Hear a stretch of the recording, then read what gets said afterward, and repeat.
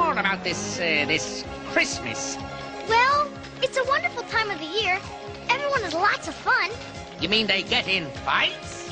No, no, they have fun.